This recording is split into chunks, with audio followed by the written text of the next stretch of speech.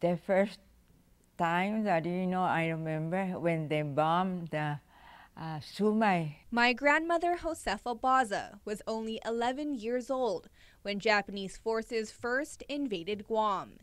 Because her father was a carpenter, the Japanese took her home in Merizo, the sturdiest ifit wood house in the village.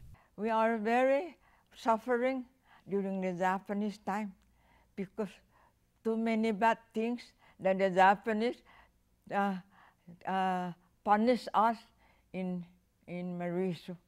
I don't know the other place, but we are suffering until the American people come.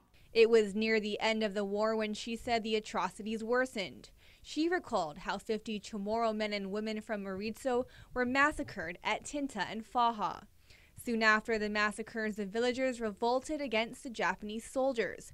During a night, the soldiers were having a party. The barbecue, the drinking, the, the singing, the laugh, you know, and Tunisian ladies knows that, you know, after the party, they're gonna kill us.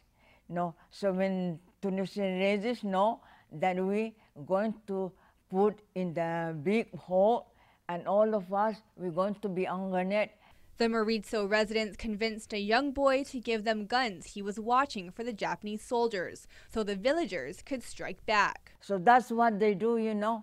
They could kill some of the Japanese, and two of the Japanese they run from Merizo to Inarajan. Despite these hardships, my grandma is the sweetest, most loving person I know, encouraging us to always forgive and stay close to God.